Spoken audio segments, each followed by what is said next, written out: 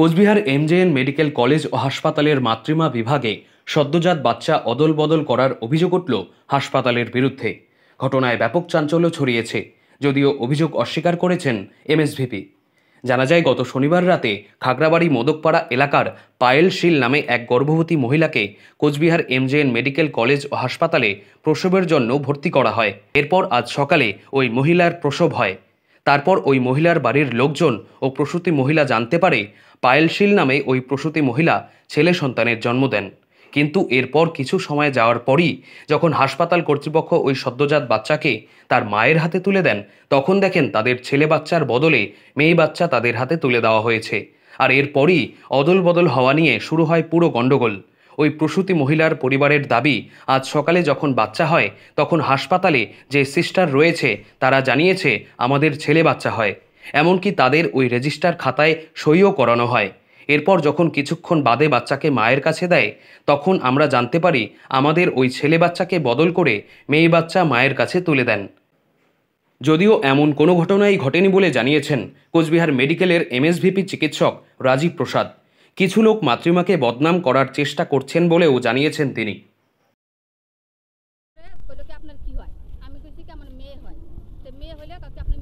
জিজ্ঞাসা করেন, কি বাচ্চা হয়েছে আমার মেয়েকে জিজ্ঞাসা করছি আমার ছেলে বাচ্চা হয়েছে হয়েছে না ছেলে বাচ্চা হচ্ছে যান।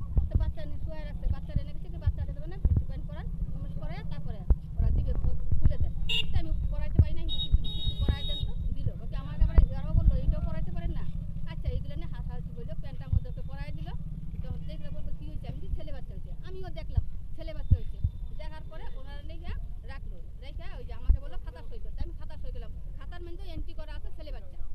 বাকি এখন টিকিট করে টিকিটের এখানে আমাকে নিয়ে আসছে এই নিচে ওইখানে বাচ্চা নিচ্ছে বাচ্চা রাখছে আমার আমার কাছে বাইরে বসে থাকছে আমি বাইরে বসে আছি তখন আটটা বাজে আমার বাচ্চা দেয় না তা আমি আবার জিজ্ঞাসা করছি আর বসেন দেরি আছে আমি ডাক বেশ ভালো কথা পরে আমার হাতে মুখে ডাকলো আমি গেলাম আমাকে তুলে বাচ্চা দিল দেওয়ার পরে আমাকে বলল কি এখন পেশেন্টের কাছে নিয়ে যাও তো ওরা আমি ছেলে আমাকে নিয়ে চলো এত ভুকেস করি না লিপে নিয়ে আমাকে নিয়ে চলো ওরা আমাকে নিয়ে আইসে পেশেন্টের বাচ্চাটা কামতেছে আমি বাচ্চাটা মায়ের মুখে দিতেও খাওয়া যায় বামনহাট ইয়ামাহা শোরুমে প্রতিটি গাড়িতে চলছে নানা ধরনের অফার এবং পুরনো গাড়ি দিয়ে নতুন গাড়ি নেওয়ার সুযোগ।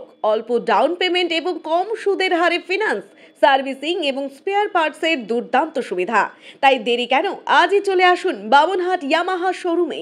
ঠিকানা, Ratna Yamaha showroom, Bamanhat main road, petrol পাম্পের কাছে। যোগাযোগ number double nine double three seven three eight three one zero হয় যে আমাকে বাচ্চারা ঠান্ডা কাঁপতেছে আমি ছেলে তো ঘুরে থাক আমি যে জামা প্যান্ট এই যে নিয়ে আসলাম সবার কাছে আমাদের ছেলে হলো আমি ছেলে নিজের হাতে মুখে পাও ধরে দেখলাম আমার মেয়ে দেখল দিদি কবে ভর্তি করেছিলেন ভর্তি করেছে শনিবার দিনকে রাত্রে বাচ্চাটা কবে হয়েছে বাচ্চা হচ্ছে আজকে সকালে কীভাবে বুঝতে পারলেন যে মেয়ে বাচ্চা দিছে আজকে কখন দেখলেন যে মেয়ে বাচ্চা কখন ওই যে দেখলেন যখন বাড়িতে এখান থেকে গেলাম আমাদের যখন নাকি যাবার ঢুকতে দিবে না ওই থেকে আটটার সময় যখন ডাকবে তারপরে যাবে যখন আমাদেরকে ডাকলো পায়ের ছিঁড়ে পরে গেছি জামা নিয়ে তখন জামা টামা নিয়ে যখন যে বাচ্চাটাকে পরাবো তখন যে কি একটা ছেলে মেয়ে বাচ্চা না একটা মেয়ে বাচ্চা তখন সিস্টার আমার সাথে ছিল উনিও বলছি না পায়ের ছিঁড়ে তো মেয়ে বাচ্চা হচ্ছে তো ছেলে বাচ্চা আর এই ছেলে বাচ্চা হচ্ছে তো মেয়েকে সিস্টার বলছিল এই ব্যাপারটা হ্যাঁ কথাটা বলছি হাতের মধ্যে লেখা আছে এই টিকিট করে ছেলে বাচ্চা ছেলে বাচ্চা তাহলে এখন আ- ওরা বলছে কি তোমাদের ভুল ভুল হইতেই হয়েছে, পারে। আমাদেরও লিখতে ভুল হইতেই পারে। তারপরে আমি গেছি যে আমি বললাম ঠিক কার আছে গাফিলতি ভাবছেন দিদি মানে কার গাফিলতি এটা কি ভাবছেন ডাক্তারে বলতেছে দেখেন হয়তো আমাদেরও ভুল হইতেছে লিখতে ভুল হয়েছে ছেলে বাচ্চা আপনারও দেখতে হয়তো ভুল হয়েছে আমি কি ঠিক আছে বাকি আপনারা ছেলে হয়েছে দেখে আনন্দেতে আমি কি দেখো প্রথম আমার মেয়ে বাচ্চা হয়েছে আমার মেয়ে হলেও আমি খুশি আমার ছেলে হলেও খুশি কিন্তু যেহেতু আমি দেখলাম আমার ছেলে হয়েছে তাহলে মেয়েটা নিব কেন আমার কষ্ট হয়েছে আপনার নামটা বলেন আমার নাম অনিমাসি এখন এখন কি চাচ্ছেন আমার বাড়ি বানেশ্বর মানে এখন কি চাচ্ছেন আপনি আমার মেয়ের নাম পায়েল শীল পায়েল শীল আপনি এখন কি চাচ্ছেন এখন কি যেতে আমার ছেলে বাচ্চা দেখাচ্ছে আমাকে ছেলে বাচ্চা দাও। আপনার মেয়ের বাড়ি কোথায় আমার মেয়ের বাড়ি কুচবেরি মতো করা সকাল থেকে তোমাদের কাছ থেকে যোগাযোগ এসেছিল যে মাতৃমা আমার অ্যালিগেশন এসছে একটা যে একটা বাচ্চা যেটা ডেলিভারি হয়েছে ছেলে, পরে সেটাকে মেয়ে বাচ্চা হিসেবে হ্যান্ড ওভার দেওয়া হচ্ছে। তাই তো? তো ব্যাপারটা খুব গুরুত্বপূর্ণ ছিল। সকাল থেকে মানে ডিফারেন্ট জায়গায় ডিফারেন্ট সোর্স থেকে ফোন আসার পরে আমি নিজের মতো খোঁজ নিই। খোঁজ নিয়ে দেখা গেল এমন কোনো ঘটনাই ঘটেনি। কিছু একটা ক্ল্যারিক্যাল মিস্টেক্স ছিল, সেটি রেকটিফায়েবল কিন্তু সেই রেকটিফায়েবল কারেকশন নিয়ে patient party is highly motivated that there baby is female baby কিন্তু দেখা গেল একটা গুজব পরিবেশ বা ল অ্যান্ড অর্ডার পরিবেশ তৈরি করার চেষ্টা করা হলো। হসপিটাল অথরিটির অজান্তে এবং যারা মেন পেশেন্ট পার্টি তাদেরও অজান্তে। তাদের কোনো অ্যালিগেশন নেই। যে মেল বেবি বা ফিমেল বেবি নিয়ে তারা তাদের ফিমেল বেবি নিয়ে স্যাটিসফাইড আমাদের হচ্ছে ভেরিফিকেশনে একদম হান্ড্রেড পার্সেন্ট প্রুফ যে তার ফিমেল বেবি ডেলিভার্ড হয়েছিল। সেখানে নিয়ে কিছু একটা ল অ্যান্ড অর্ডার তৈরি করার চেষ্টা করা হচ্ছে হসপিটালে তো সেটাই জানাতে এলাম যে হাসপাতালের আশেপাশে কিছু সংখ্যক লোকজন হচ্ছে এই মেডিকেল কলেজ যেহেতু মাতৃমাটা খুব ভালো করে কাজ করে আমাদের, পুরো হাসপাতালই করে।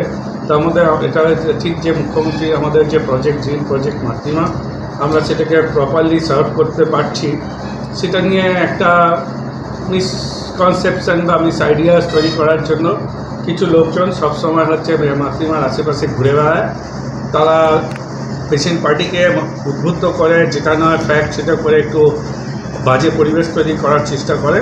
ফাদার যে ডেলিভার করেছে, এটা ডাইরেক্ট ফাদার পেশেন্টের শাশুড়ি বলেছেন যে হ্যাঁ। পেশেন্টের যে শাশুড়ি ছিলেন তিনি তার। কাছে শুরুতে একটা বললাম তো একটা মিসকনসেপশন হয়েছিল সেটা ক্ল্যারিক্যাল মিস্টেকের জন্য। সেটা ক্ল্যারিফাই করার পর তাদের তাদের তারা কোনো প্রতিবাদ করেনি। তারা কোনো আন্দোলন বা কোনো ওখানে পরিবেশ নয় যেটা বাইরের লোকেরা করেছে। মাই কমপ্লেন ইজ দ্যাট বাইরের লোকেরা ইনভলভ হয়ে যাচ্ছে মাতৃমাকে মেডিকেল কলেজকে কালিমা লিপ্ত করার